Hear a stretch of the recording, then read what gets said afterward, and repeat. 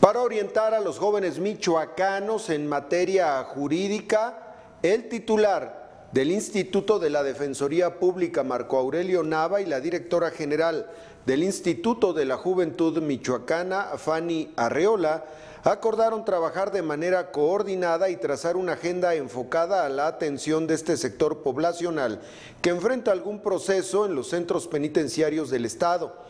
Durante el encuentro que se tuvo en el Instituto de la Juventud Michoacana, Fanny Arreola resaltó la necesidad de trabajar para incidir de manera positiva en el registro de jóvenes que terminan en los centros de rehabilitación social por haber cometido un delito.